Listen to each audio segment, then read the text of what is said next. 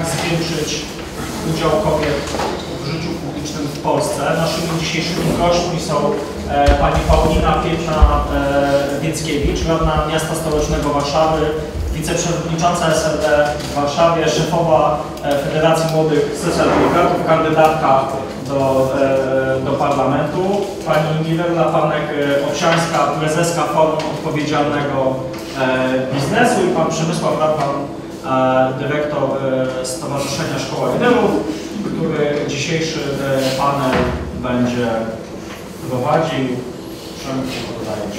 Właściwie nawet publicznie nie wypada powiedzieć, że się jest przeciwnym temu, że, że chciałoby się, żeby kobiety właściwie miały pracę i wyborczych i tak. No to się stało, tak? No, gdzie nie, gdzie w kuluarach nam jeden poseł, notabene absolwent szkoły e, letniej w wywiadzie, no tak mówił jednak o tym, że to tak, no to jest inaczej, więc on rozumie, że kobiety nie chcą, ale poza tym, poza tym jednym posłem to właściwie już e, no, nikt publicznie nie powie, że jest przeciw e, i ja mam trochę problem, nie, nie mam problemu, czy będziemy rozmawiać, ale faktycznie, co się stało z tym tematem? Czy on się troszeczkę nie przypatynował, czy on się troszeczkę nie, nie, nie przybruszył? No taką nudą oczywistą, no trzeba napisać był Europejski Kongres Kobiet, to wiadomo, że wszystkie gazety o tym napiszą.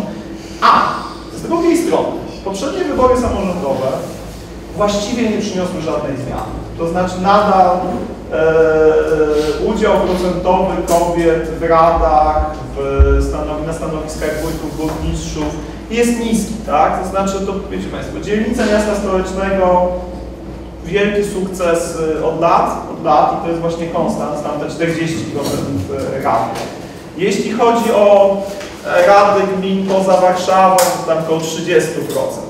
Y, Pani burmistrz i pani wójt, pani wójtów, pani wójtów, dobrze powiedziałem, jakieś tam kilka procent, 10 się wali.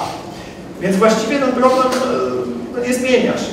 Wiemy, jaka jest puenta parytetów, tak? Że właściwie obie główne partie poradziły sobie doskonale z parytetami, żonglując w ten sposób, że kobiety wystawiają na, w tych miejscach, gdzie po prostu są to miejsca, szansa wejścia jest zerowa, tak? No, feminizm kojarzy się od razu z jakimiś, w Polsce szczególnie, z jakimiś strasznymi babonami, które walczą o prawa nie wiadomo kogo, do, nieprawa, do prawa nie, do nie wiadomo czego. Ja myślę, że my popadamy z jednej skrajności w skrajność, to znaczy z jednej strony w lifestyle'owych czasopismach mamy kobiety sukcesu, które żonglują radośnie y, zajmowaniem się dziećmi, y, domem, a jednocześnie 20 godzin spędzają w korporacji i że we wszystkich tych rolach one są cudowne, albo wręcz drugą stronę, jak kobieta w domu nie siedzi 24 godziny, to znaczy, że jest złą matką.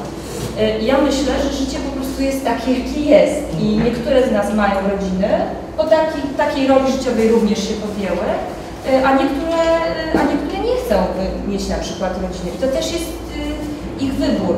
To, to powoduje taki dysonans właśnie w społeczeństwie, że społeczeństwo nie wie, czy fajniejsze są te lifestyle'owe panie, które z teczką w jednej ręce, a z drugiej z dzieckiem idą do piaskownicy i sobie doskonale radzą, co notabene jako matki możemy powiedzieć, że jest po prostu to średnie do wykonania i będzie to eufemizm. Yy, a z drugiej strony yy, takie pogardliwe mówienie o paniach, które zostały w domu, a przecież zostały też z jakichś powodów, które były dla nich po prostu ważne. Yy, warto i trzeba i powinno się mieć więcej kobiet w życiu publicznym.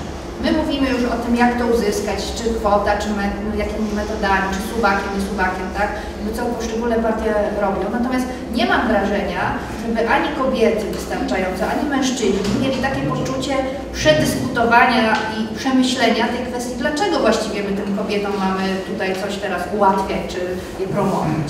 I tutaj, ja myślę, że tutaj możemy mówić o tym na różnych poziomach. Możemy mówić na poziomie, nie wiem, pewnych deklaracji wartości pod tytułem sprawiedliwość społeczna, że jeśli mamy społeczeństwo składające się z kobiet i z mężczyzn, to jeśli mówimy o zarządzaniu tym społeczeństwem, to obie płcie powinny mieć jakby takie same szanse, żeby wnieść tutaj swoje doświadczenie i swoje, swoje jakieś wartości, czy, czy metody, czy, czy to w jakiś, czy tak naprawdę różnice.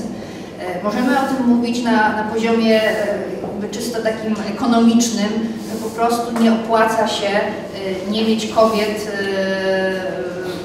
w- życiu publicznym, bo na przykład decyzje, które są podejmowane przez gremia jednopłciowe, okazuje się są po prostu decyzjami podejmowanymi z jednego tylko punktu widzenia, nie obejmującego pewnego spektrum, e, które, które tak naprawdę potem mogą być no, niekorzystne dla, dla całości społeczeństwa. Tak?